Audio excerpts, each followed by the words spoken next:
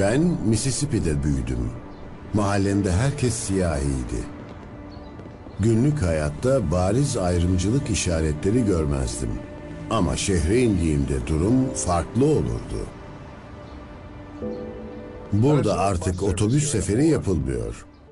Ben küçük bir çocukken bu kapılardan sadece birinden geçmeme izin vardı.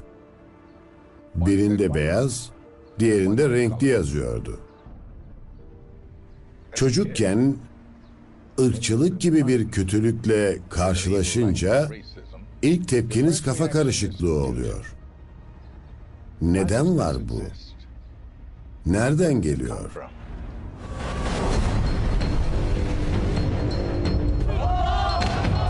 İyilik yapma kapasitemizin yanında kötülük yapma dürtüsü de insanlık tarihini kasıp kavurmuş.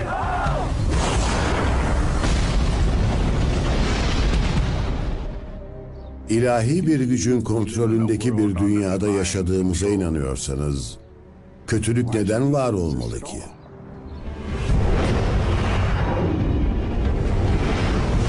Bir yolculuğa çıkıyorum. Kötülüğün neden var olduğunu anlamaya çalışacağım. Ne yaptığını biliyorum. Neden yaptığını söyleyebilir misin? Hayatlarımızı nasıl istila ettiğini. Kendilerine kötü bir ruhun musallat olduğunu düşünenler buraya gelebilir. Kötülüğün kalbimizi ilk nasıl çaldığını. Yalan söylediyseniz, kötü bir şey yaptıysanız. Kalbiniz ağırlaşıyor. Ağır bir kalple de cennete gidemiyorsunuz. Ve dinlerin şeytanla savaşma yollarını keşfedeceğim. İki anlayış vardır. Biri iyidir, diğeri kötüdür. Karanlığı İnanılmaz kötü şeyler yaptım. aydınlığa çevirmek için. Sen dünyadaki umudu temsil ediyorsun.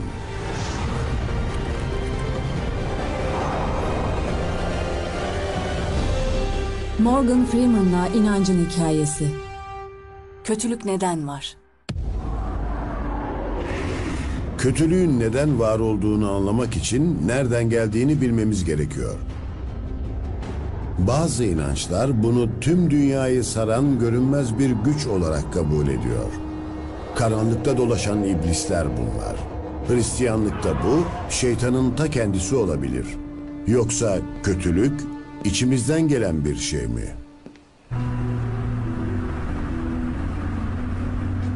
Maksimum güvenlikli bir hapishaneye gidiyorum. Kötülüğün somut hali denebilecek bir adamla tanışacağım. Kent, kötülükle yüz yüze geldiniz mi hiç? Çok kötü şeyler yapmış bazı kişilerle tanıştım. Nörobilimci Doktor Kent Kill, psikopat katillerin beyinlerine bakıp kötülüğün kaynağını belirlemeye çalışıyor. İnsanların neden çok kötü şeyler yaptığını anlamaya çalışmak istedim. Bir gün bunu nasıl önleyebileceğimizi görebilirdim. Teşekkür ederim. Doktor Keel'ın en azılı deneklerinden biriyle tanışacağım. Burada müebbet hapis cezası çekiyor. Avukatı bana iki düzineden fazla kadına tecavüz ettiğini söylüyor. Üçünü de öldürmüş.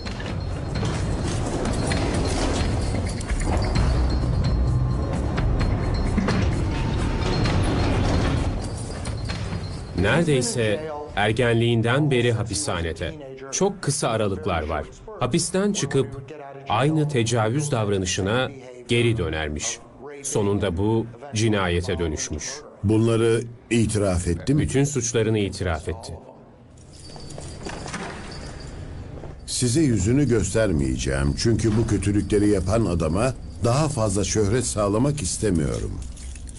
Fakat birine bunları neyin yaptırabileceğini merak ediyorum. Kim olduğumu biliyor musun? Evet. Ne yaptığını biliyorum. Neden yaptığını söyleyebilir misin?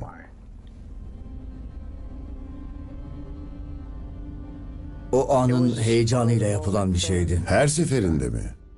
Gidip birilerini kaçırmak gibi bir planım yoktu. Cinsel suç işleme planım yoktu. O an bir istek, bir dürtü yaşadım ve o dürtüye göre hareket etmekten kendimi alamadım. Sana şunu sorayım. Kaç yaşında başladın? 21 veya 22 yaşındayken.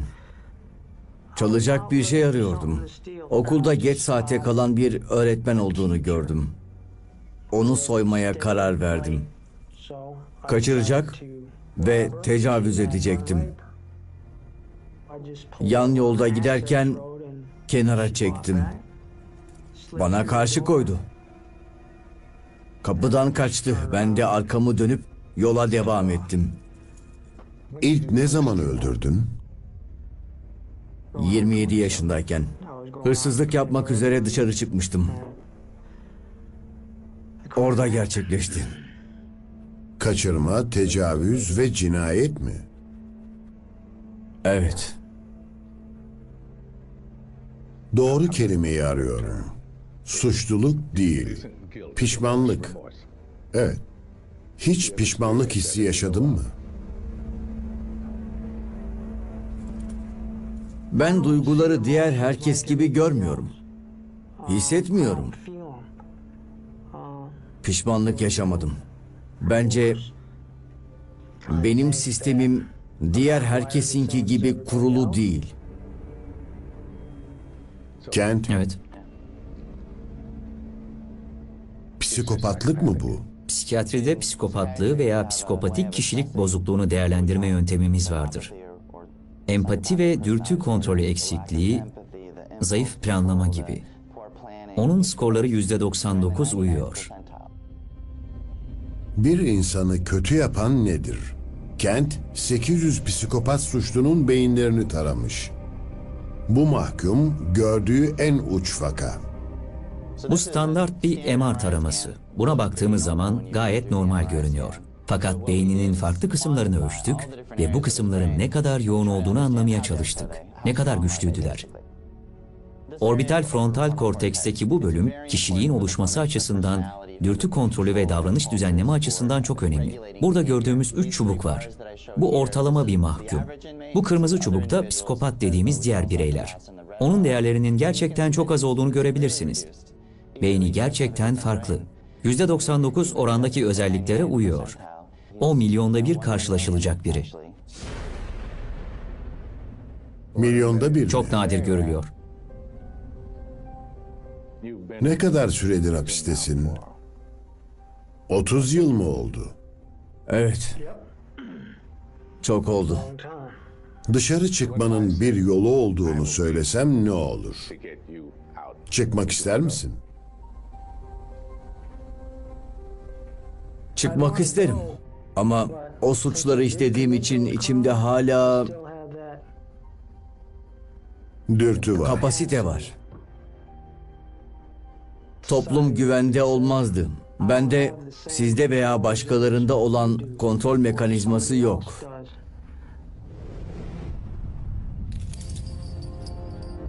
Bu kötü bir adam.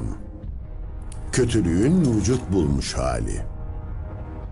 Nörobilimciler davranışının sinir sistemi bozukluğunun sonucu olduğunu söylüyor. Fakat soru şu. Böyle bile olsa yine de bir tercih yapamaz mı?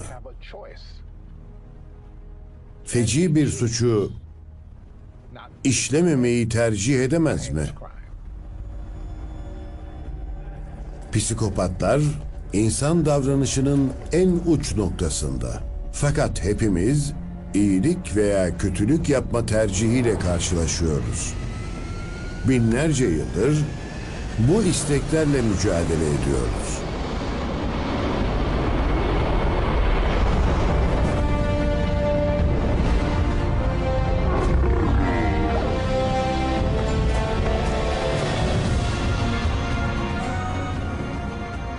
Antik Mısır'ın başkenti olan El Uksur'dayım. Mısır bilimci Salima İkram, iyi ve kötü arasında tercih yapma mücadelemizin en eski tasvirlerinden birini gösterecek bana. Burası mı? Evet. Doğuda kalan her yer Nil'in diğer tarafı, Nil'in doğusu daima yaşayanların diyarıydı. Bu tarafta batıda da ölülerin diyarı var. Tam anlamıyla. Bunlar mezarlar. Evet. Bunların tamamı mezar. Size özel bir mezarı göstermek istiyorum. Bunlar soyluların mezarları. 3000 yılı aşkın süre önce Tutankamon'un gömüldüğü yer olan Firavunlar Vadisi'nin hemen yanında. Burası Menna'nın mezarı. Menna. Hadi girelim.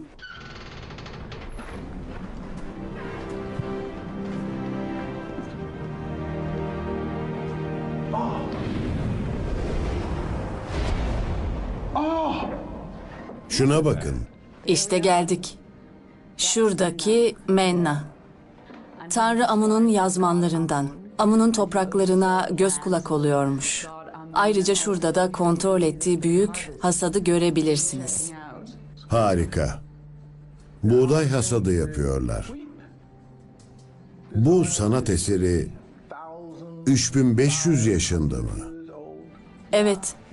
Milattan önce 1370. Üstelik restore edilmemiş. Bunlar onun yazıları. Kesinlikle, Yazılara göz kulak oluyor. kesinlikle. Ve Amerika'ya döndüğümde hieroglif uzmanı olacağım. kesinlikle. Şimdi size bir şey göstereceğim. Menna'nın öbür dünyaya geçişiyle ilgili. Menna'nın mezarında çarpıcı bir özellik var. Salema bunu görmem gerektiğini söylüyor. Menna'nın işlediği iyilik ve kötülük dengesine göre yargılanacağı bir sahne. Bu bir cenaze merasimi. Tamam. Tabutunun şuraya getirildiğini görebiliyoruz. Onun tabutu mu bu? Tabutu bu. En sonunda da buraya Tanrı Tanrı Osiris'in huzuruna getiriliyor. Bu Menna. Sonra burada çok büyük bir yenilik var. Bunu özel bir mezarda ilk kez burada görüyoruz. Kalbin tartılmasını içeren bir sahne. Burada yargılanıyor ve iyi mi kötü mü olduğuna bakılıyor. Yeraltı tanrısı olan Osiris'in huzurunda Menna'nın kalbi doğruluk tanrıçası olan Maat'la tartılıyor. Tanrıçanın kocası Thoth da verilen kararı yazıyor. Yani hayatının bir tür özeti gibi. Anladım. Özet geçiyor. Eğer yalan söylediyseniz, çaldıysanız, sahtecilik yaptıysanız, herhangi kötü bir şey yaptıysanız bu kalbinize yansıyor. Bunların yükü kalbinize biniyor. Kalbiniz ağırlaşıyor. Kalbin çok ağır oluyor. Evet. Ağır bir kalple de cennete gidemiyorsunuz. Doğru. Havalanıp cennete gidemiyor diyelim. Çok güzel söylediniz. Bu tasvirde kalbi dengede kalmış. Öyle değil mi? Evet, Sorun yok yani. kesinlikle. Pekala. Öbür dünyaya geçebilir. Bunun iyilik ve kötülük açısından Musevi ve Hristiyan etiğinin başlangıcı olduğunu söyleyebiliriz. Bence modern dinlerin kökeni bu ahlak kavramında yatıyor. Yaptığınız kötü bir şey yansıtılıyor ve yargılanabiliyor. Mısırlılar dolaysız bir kültürdü. Kalbinizle yargılanırsınız diyorlar. Şimdilerde bile kalbi temiz diyoruz. İyi bir insan demek bu. Evet, evet. Menna'dan sonraki yüzyıllarda kötülüğe sırt çevirmeye verilen sonsuz ödül fikri Mısır toplumunda yayılmış. Buradan da Musevilik, Hristiyanlık ve İslam'a girmiş olabilir.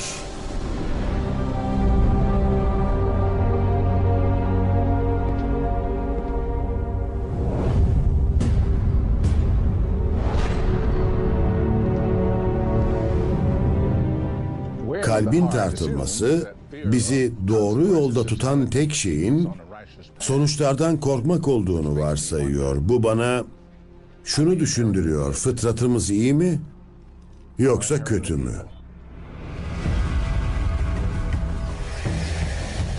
Bu soru Hristiyan inancının köklerinde yatıyor. Erken dönem kilise liderleri Günah işleme eğilimimizin Adem ve Havva'ya dayandığını söylüyor. Yasak meyveyi yediler. İlk günah.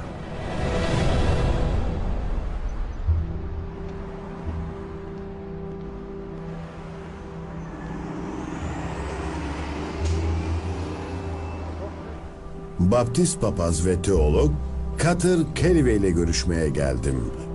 İlk günahın hepimizi kötü kılıp kılmadığını öğreneceğim. Merhaba, memnun oldum. Teşekkür ederim. Buyurun. Sağ olun. Hangi kitabı okuyordunuz? Tekvin'in ilk birkaç bölümünü. Ben de tam ondan bahsedecektim. Günah hakkında konuşmak istiyorum. İlk günah nedir? Çok güzel bir soru bu. İlk günah kavramını Hristiyan inanışı tanımlamıştır. İçimizde olan ilkel bir tutkudur. Bu çok temel bir insan arzusu veya dürtüsüdür. Adem günah işlediği için ilk günah nesilden nesile aktarılmıştır. Sürekli olarak nesilden nesile aktarılır. Kötülüğün vücut bulmuş hali diyebileceğimiz bir kişiyle biraz vakit geçirdim. Bunları neden yaptın deme ihtiyacı hissettim.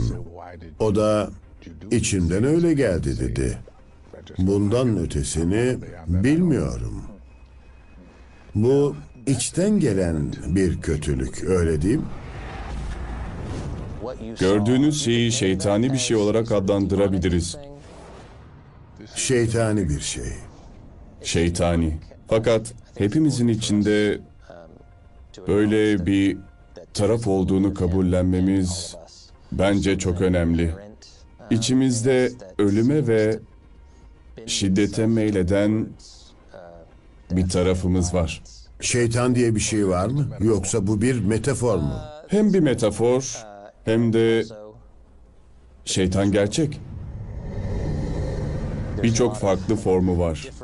Dirgen tutan şeytanlardan goblinler ve gulyabanilere kadar. Yeni ayette Hazreti İsa şeytanla etkileşime bile girer. Öte yandan Hazreti İsa havarilerinden biriyle konuşur ve bir yerde şöyle der. Arkama geç şeytan. Yani Hazreti İsa bile hem gerçek bir varlıkla kötülüğün vücut bulmuş haliyle uğraşıyordu. Hem de bizim Tanrı'nın isteklerinden uzaklaşma arzumuzda şeytani olabileceğimizi görüyordu. İçimizde kötülük kapasitesi mevcut şekilde doğuyoruz. Çoğumuz hayatımız boyunca yanlış yapmanın cazibesine karşı koymak için mücadele ediyoruz. Bizi bu dünyaya getirenler de hayatımızda başka bir kötülük kaynağı olabilir. Babam alkolikti. Hayatta veya ölü olmaları fark etmez.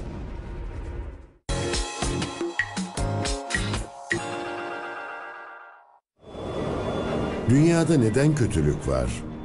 Hepimizin içinde kötülük olduğu için mi var yoksa başka bir yerden mi geliyor?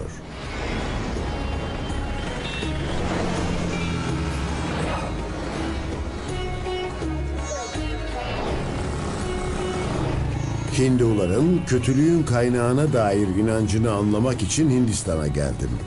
Bunu atalarının mutsuz ruhlarına atfediyorlar. Varanasi şehrinde gün boyu şeytan çıkarma faaliyetleri yapılan Pişaş Moşan Tapınağı'na gidiyorum.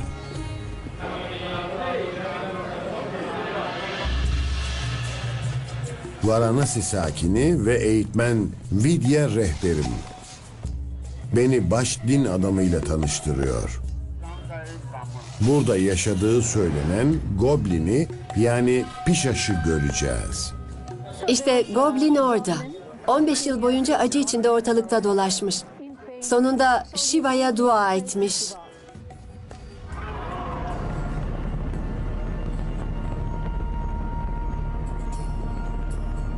Büyük Hindu tanrısı Shiva, Goblin'i arındırma ritüeline sokmuş. Ritüelin sonunda onu en yakın göle batırmış. Bu da hastalığını hemen tedavi etmiş. Shiva bunun karşılığında Goblin'e gölün yakınındaki insanları kötü ruhlardan korumasını emretmiş. Shiva şöyle demiş. Sen iyileştin. Şimdi içine kötülük giren diğer bütün insanlara yardım edeceksin. İyi huylu bir goblin bu. Evet, iyi huylu goblin. Bu göl şimdilerde bir şifa mekanı haline gelmiş. Hayatlarına kötü bir varlığın musallat olduğunu düşünenlerin sığınma yeri. İşte suya bakın. Acı su bu. Ama insanlar iyileşeceklerine inanıyor. Acı su. Böyle mi deniyor? Evet. Tipik olarak suyun her şeyi temizlediği inanışı vardır. Tamam, buna inanacağım. Tamam.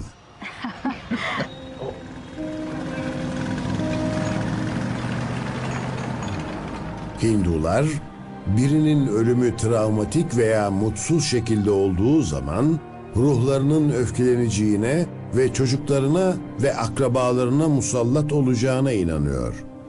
Bu da akli veya fiziksel rahatsızlıklar, hatta mali sorunlar yaratabiliyor.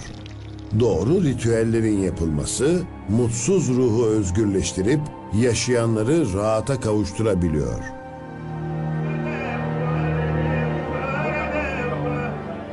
Orada ne oluyor? O şaman hazırlık yapıyor. Şeytan çıkaracak. Evet. Konuştukları şeyleri kimse anlayamaz.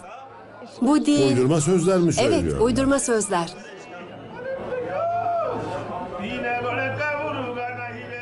Sonra hasta tepki veriyor, bağırıyor veya benzer sözler söylüyor. Veya spazm geçiriyor. Sonunda da şeytanın çıktığına inanıyorlar.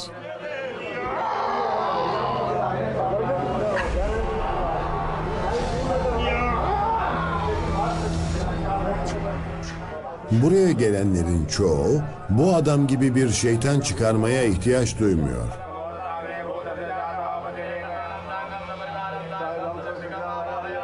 Şukla ailesi tepik müşterilerden. Mali sorunlar yaşıyorlar ve atalarının ruhlarının buna neden olduğundan endişe ediyorlar. Bu bir uğurlama töreni. Ortalıkta dolaşan ruh için. Atalarımın ruhları rahat değil izlenimini ne veriyor? Bunu düşündüren ne? Bence şahsi sorunlar. Bir şey onlara sorun yaratıyor. Ailede maddi bir kayıp, sık sık hastalık, kötü rüyalar görülebiliyor. Her şey bu ruhun varlığıyla ilişkilendiriliyor.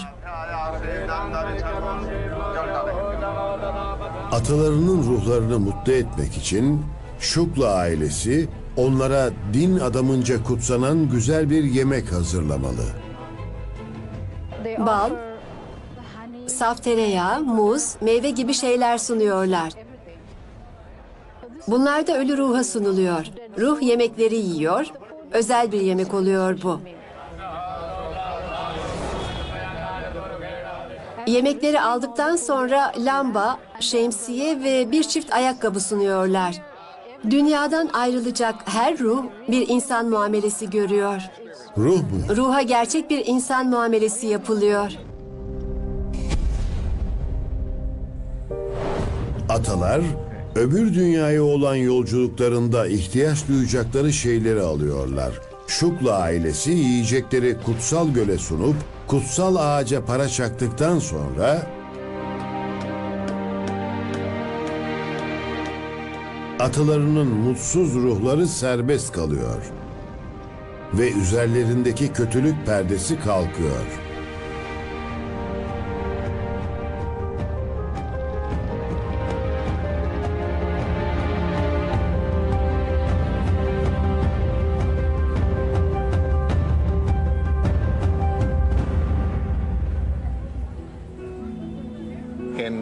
Hristiyanlıkta şeytan ve tanrı var.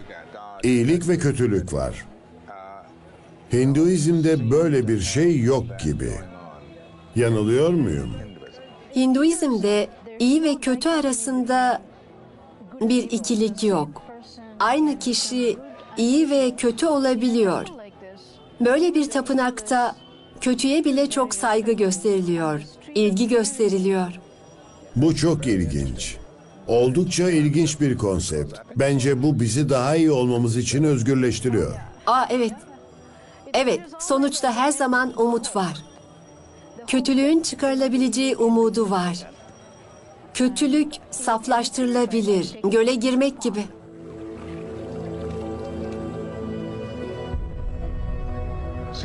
Bu tapınaklardaki insanları izliyordum. İnsan kitleleri var. Ritüel üstüne ritüel düzenliyorlar. Atalarının gözünde iyi kalmaya çalışıyorlar. Fakat şu var, kötülük dışlanmıyor. Kötülük, yardıma ihtiyaç duyan bir ruh olarak görülüyor. Huzura kavuşması gerekiyor sadece. Süper.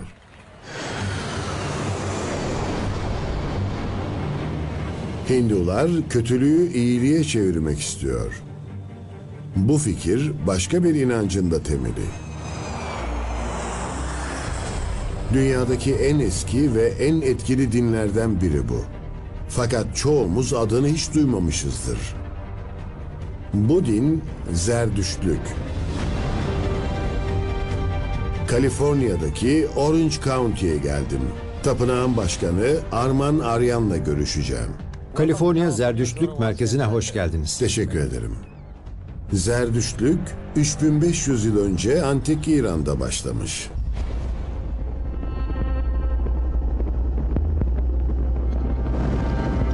İnancın temel sembolü ateş. Günümüzde dünya çapında çok az Zerdüşt topluluk kalmış.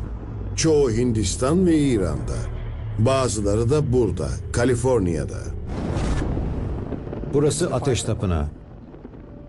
Bu ateş daima yanıyor mu? Bu Zerdüştlüğün bir sembolüdür. Ateş daima yanar. Aydınlanmayı temsil eder. Bu dünyamız hakkında ne kadar farkındalığınız olursa, sizi bekleyenleri ne kadar bilirseniz o kadar iyi kararlar verebilirsiniz. Elinizde bir fenerle yürümek gibidir. Evet. Hayat ışığınız ne kadar parlaksa. Doğru. Zerdüşt inancında iyilik ve kötülük ayrımında bu nasıl görülüyor? Zerdüşt öğretisinde iki anlayış vardır. Batı'da bu ruhlar olarak tercüme edilir. Biri iyidir, diğeri kötüdür. Bunlar prensiplerdir, davranış şekilleridir. Zerdüştilerin felsefesi iyi düşünceler, iyi sözler, iyi eylemlerdir. Zerdüştlük kötülüğü yenmeye odaklanmış bir din. Zerdüşt din adamları temiz beyaz cübbeler giyiyor. Kutsal alevleri gibi bu da aydınlanmayı ve kötülükten uzak bir yolu temsil ediyor.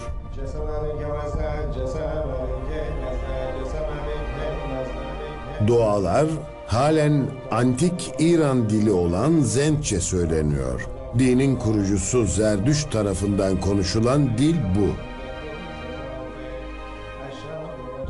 Din profesörü Gregory Riley, Zerdüşt inanışlarının Musevilik ve Hristiyanlığı nasıl şekillendirdiğini ve şeytan fikrini nasıl oluşturduğunu inceliyor. Zerdüştlük, semavi dinlerden daha eski. Doğru evet. Zerdüşt, dünyada kötülüğü yenmek için dehşet verici bir savaş yaşanacağını öngörüyordu. Tanrı ve şeytan karşı karşıya gelecekti. Yeni ahit bu. Zerdüştlük değil herhalde. Evet, Zerdüştlük. Dünya dinlerine bakacak olursanız, şeytan kavramı göremezsiniz. İsrailoğulları Babil'e gelmelerine kadar şeytan kavramı olmadan yaşadı. Museviler Zerdüştlükle tanıştı ve fikirlerinden etkilendiler. Geri geldiler ve Musevi edebiyatında şeytan görülmeye başladı. Kötülüğe şeytanın neden olduğu fikri görülmeye başladı. Bunlar insanları etkilemeye başladı. Hazreti İsa zamanına geldiğimizde şeytan için bir isim bulmuşlardı. Beelzebub. Duymuşsunuzdur. Evet, birkaç ismi var. Evet. Yeni Ahit ve İncil'de Hazreti İsa'nın büyük rakibi. Bu yeni bir yaklaşım. Doğru. Museviler kendileri yorumladı. Hristiyanlar kendileri yorumladı. Müslümanlar kendileri yorumladı. Hristiyanlıktaki şeytan fikrinin antik inanışlardan evrilmesi gibi modern zerdüştlük de evrim geçirmiş. Birçok zerdüşti için şeytan artık gerçek bir iblis figürü değil, işlerindeki bir mücadele, iyi ile kötü arasındaki mücadele zihinde gerçekleşiyor.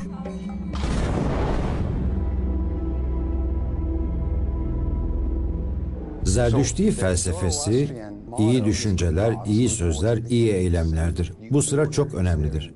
Çünkü bir düşünceyle başlarsınız. Bunu bir hocayla konuşur ve sonra eyleme geçersiniz. Böylece başınız belaya girmez.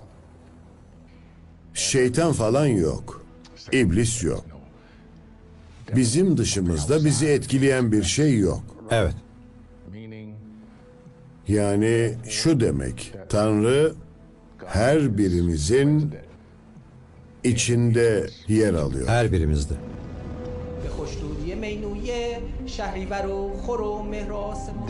Zerdüşti öğretisi geçmişte ya da gelecekte değil, şu anda yapabileceklerimizle ilgilidir. Dünyamızdaki bütün sorunlar insan eseridir. Bu sebeple insan tarafından çözülmelidir. Çözülebilir, çözülmeli. Bunu doğaüstü bir güce bağlamak Zerdüşti anlayışında yer almaz. Evet. Zerdüştiler iyinin ve kötünün içimizde yer aldığına ve iyiyi seçmemiz gerektiğine inanıyor. Her birimiz her gün iyilik yaparak, doğru olanı yaparak içimizdeki kötülüğü temizlemeliyiz.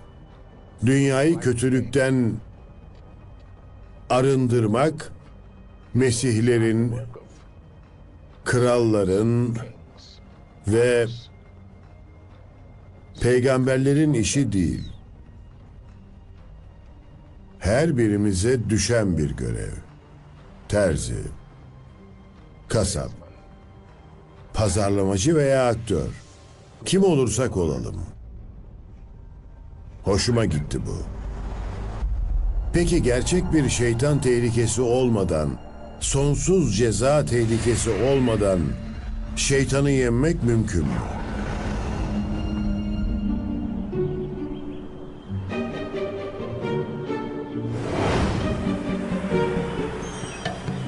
Yeni Zelanda'da psikolog Jesse Bering bizi doğru yolda tutacak doğaüstü varlıklara ihtiyacımız olduğunu söylüyor. Bir oyun oynamaya hazır mısınız? Jesse bu teoriyi test etmek için bir deney geliştirmiş. Pekala. Çember oluşturup önümde durun. Ben de size kuralları anlatayım. Bu şeridi görüyor musunuz? İlk kuralımız şu. Çizgiyi geçemezsiniz. İkinci kural da şu. Tahtaya arkanızı dönerek atış yapacaksınız. Bu şekilde bakıp elinizden gelenin en iyisini yapın. Hop, bakın.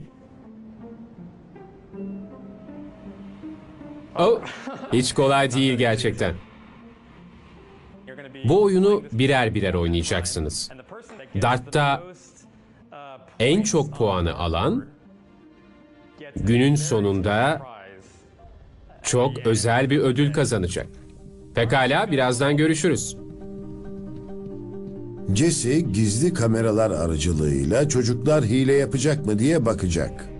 Küçük bir oğlan geliyor. Aklından geçenleri resmen görebiliyoruz. Bakalım yapacak mı? 6 yaşındaki birini bunu yaptığı için suçlayamayız. Ödülü almak istiyor ve bunun fark edilmeyeceğini sanıyor. Normal bir çocuk tepkisi bu. Bu küçük kıza bakalım. Çizgiyi aşıyor. Dart'a birkaç top koyuyor. Birinin onu izleyip izlemediğine bakıyor. Yaptığı şeyi gören var mı diye bakıyor. Odada yalnız olduklarını sanıyorlar. Kimse izlemiyorsa neden hile yapmayasınız? Peki ya biri izlediğinde? Jesse aynı deneyi yeni bir grup çocukla ve görünmez bir doğaüstü varlıkla tekrarlıyor. Başlamadan önce size çok özel birini tanıtmak istiyorum. Şu anda odada bizimle birlikte. İsmi Prenses Alice. Daha önce Prenses Alice'i duymuş muydunuz? Çok dost canlısı, sihirli bir prensestir. Çok özel bir yeteneği vardır. Kendini görünmez yapabilir. Prenses Alice şu anda bu sandalyede oturuyor. Siz şimdi yukarı çıkacaksınız. Sizleri tek tek buraya alıp oyun oynatacağız. Çocuklar görünmez bir prensesin onları izlediğini düşünürken Jesse inanılmaz bir şey görüyor. Bu küçük kız şimdiye kadar çok iyi gitti. Kuralları çiğneme gibi bir isteği yok. Burada küçük bir kız sandalyeye dokunuyor. Belki Prenses Alice'i hissedebilir diye düşünüyor. Prenses Alice. Prenses Alice dedi. Kesinlikle hile yapmıyor. Bu inancın gücü. Bu çocuklar onu daha önce hiç duymamış ama birdenbire zihinlerinde gerçek oluyor. Jesse hep aynı sonuçları alıyor. Bu çalışmada yüzlerce çocuğu test ettikten sonra şunu gördük. Odada yanlarında Prenses Alice olduğu söylenen çocuklar yalnız kaldıklarında çok daha az hile yapma eğiliminde oluyor.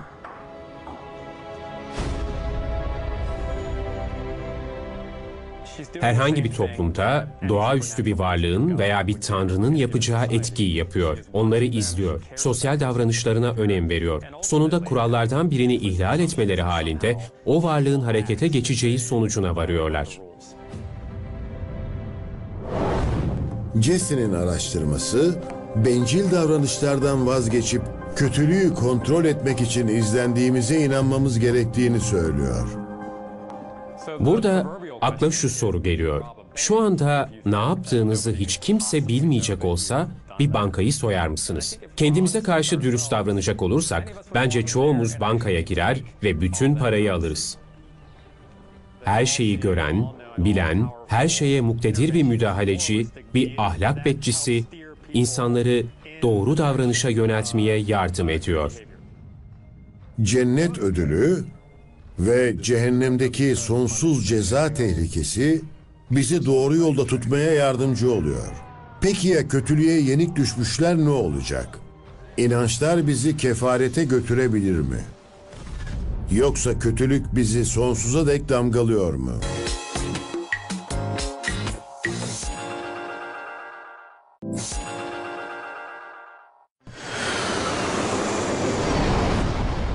İnsanların neden kötülüğün varlığına inandığını keşfetmek için dünyayı dolaşıyorum.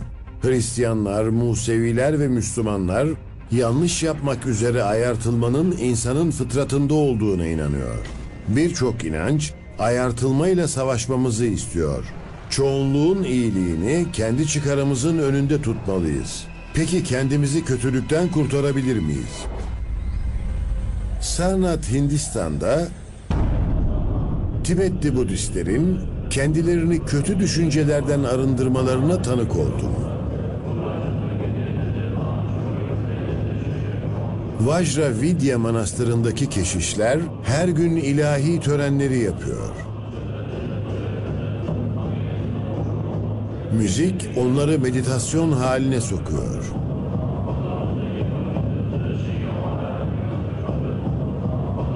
Budistler kötülük yapma isteğinin zihnimizin nasıl çalıştığını bilmemekten kaynaklandığını düşünüyor.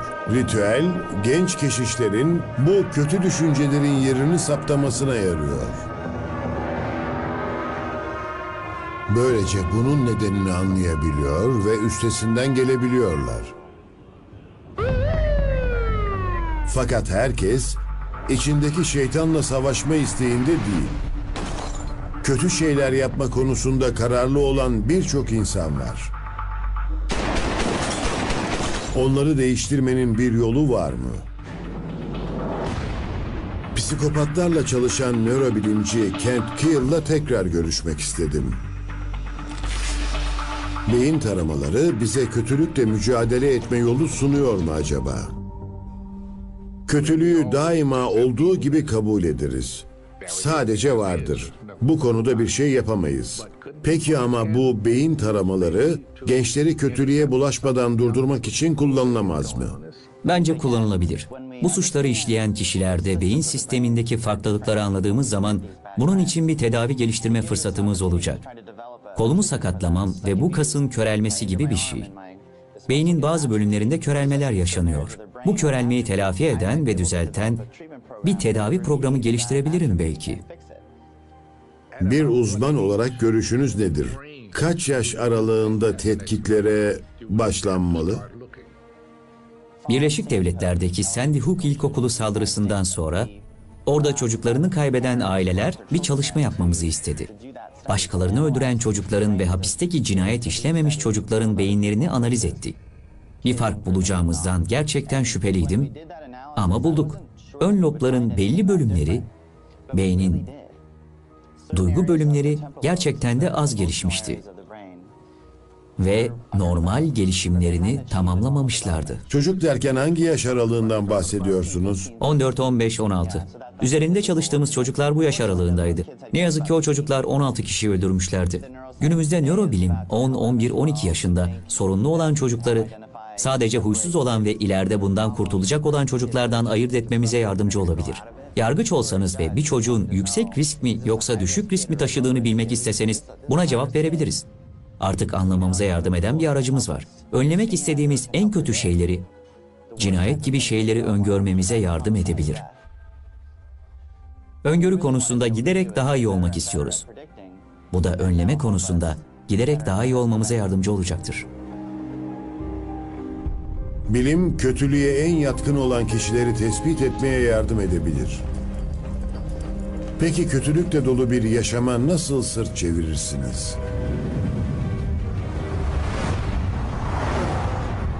Hayatından kötülüğün tüm izlerini silmiş bir adamla tanışmaya Los Angeles'a geldim. Pekala dostum. Evet bitti. İşin tamam. Brian Widener'ı arıyordum.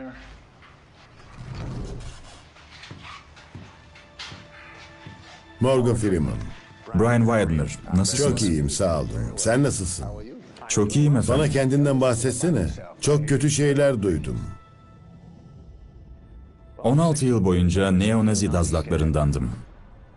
Neonazi dazlakları. Evet efendim, birçok dazlak çetesinde yer aldım. Birinde infazcıydım. Hak etmeyen birçok kişiye inanılmaz kötü şeyler yaptım. Kötü bir insandım. Dünyaya zarar vermek istiyordum. Yapmak istediğim tek şey buydu. Herkese karşı mutlak bir yıkım arzum vardı. Hayattaki amacım buydu. Sokaklara nasıl düştün? Neden sokaklara düştün? Bir çeteye karıştım. Olan buydu. Yanlış kişilerle tanışmıştım. 14 yaşındaydım. Sokaklardaydım. Bu adamlar bana kalacak yer verdi.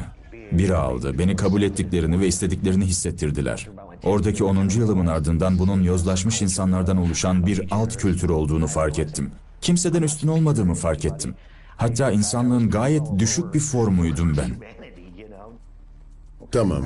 Bu insanlarla 10 yıl takıldıktan sonra bir aydınlanma anı yaşadın. Şimdi bundan bize biraz bahseder misin? Durduk yere sihirli şeyler olmaya başladı. Ne gibi?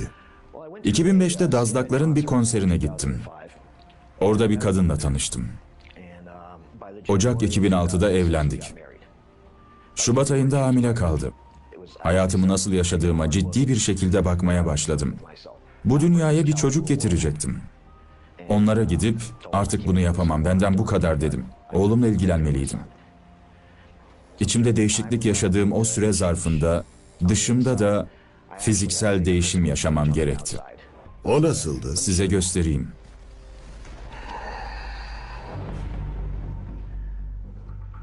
Eskiden böyle görünüyordum. Boynum ve yüzüm tamamen dövmelerle kaplıydı. İçimde çoktan değişim yaşamış olmama rağmen dış görünüşümden kaçamıyordum. Yoksullara hizmet veren bir hukuk merkeziyle temasa geçtim. Yüzümdeki dövmelerin çıkarılması için ayarlamalar, Yaptılar. Yüzünde ufak tefek yara izleri görüyorum. Bir zamanlar bir kavgaya karışmışsın da iyileşmiş gibi. Dövme sildirmişsin gibi durmuyor. Bu süreç ne kadar sürdü? İki buçuk yıl kadar sürdü. 25-26 seans tedavi gördüm. Her iki haftada bir lazer tedavisi görüyordum. İnanılmaz acı verici bir şeydi. Yüzüm sürekli şişiyordu. Fil adam gibi görünüyordum. Çok kötü zamanlardı. Burada o süreçte çekilmiş bir fotoğrafım var. Gözüne yumruk yemişsin gibi görünüyor. Evet, kötü bir boksörmüşüm gibi. Evet. bir nevi bedel ödüyorsun. Evet, ben de bu sürece bir ceza olarak bakıyorum. O acılara katlandım. Yeterince acı çektirdim, kendim de biraz acı çekmeliydim. O zamanlardan, kötülük yaptığın zamanlardan kendine dair algını tarif eder misin bize? Geriye dönüp baktığımda hiç pişmanlık yaşamadığımı görüyorum. Uç bir sosyopattım, hislerim yoktu. Dünyaya zarar vermek istiyordum. Dövme sildirme sürecindeyken Tanrı'yı buldum. Bundan önce pagandım. Hayatım daima karanlıktı, daima ruhumda bir boşluk vardı. Böyle demek doğru bir ifade olur. İsminin ne olduğunu bilmiyorum. Musevilikte veya Hristiyanlıkta yeri var mı bilmiyorum. Evrende tanrısal bir varlık var ve kendini bize bildiriyor. Bu benim hepimizin içinde iyi ve kötü olduğunu fark etmemi sağladı. Şu anki hedefim bu dünyadan ayrılırken dünyayı bulduğumdan daha iyi bir yer olarak bırakmak. İyi bir insan olmaya çalışmak. Elimden tek gelen bu. Umarım yeterli olur. Bizler bazen kötülüğün sadece var olduğunu ve hiç umut olmadığını düşünürüz. Fakat sen dünyadaki umudu temsil ediyorsun. Ve başardığın bu büyük dönüşüm bunu temsil ediyor. Kesinlikle. Kendini bu şekilde tamamen değiştirebilmiş olman son derece teşvik edici bir şey. Teşekkür ederim. Seninle konuşmaktan onur duydum. Teşekkür ederim. Bir şey fark ettim, onu da söyleyeyim. Çok yakışıklı bir adamsın. Çok teşekkür ederim. Siz de öylesiniz.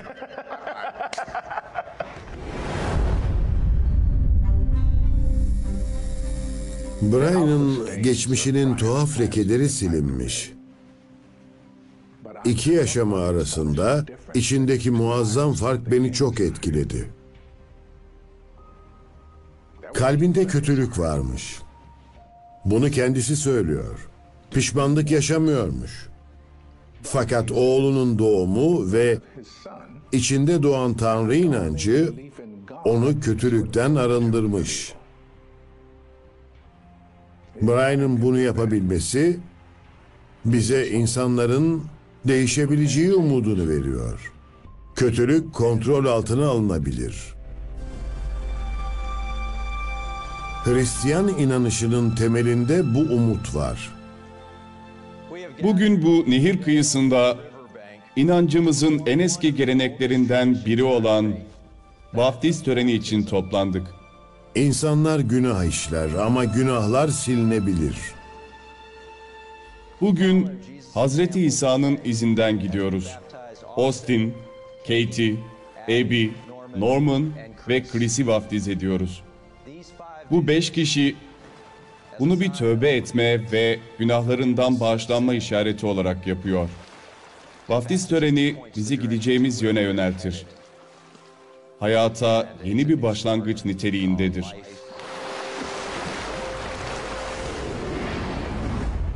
İncil bize Adem ve Havva'nın yasak meyveyi yiyene dek günah nedir bilmediğini söyler. Hemen her din kötülüğün nasıl başladığının hikayesini anlatır. İster mutsuz ruhlardan, ister şeytanın kendisinden, ister içimizdeki şeytanlardan gelsin, sonunda hepimiz kötülükle yüzleşiriz. Ama bence kötülüğü bilmemiz gerekiyor. Çünkü yaşattığı tüm acılara rağmen bizi iyilik yapmaya teşvik ediyor. Kötülük olmasa nezaket, merhamet ve bağışlama gibi benzersiz insan özelliklerini nasıl geliştirirdik?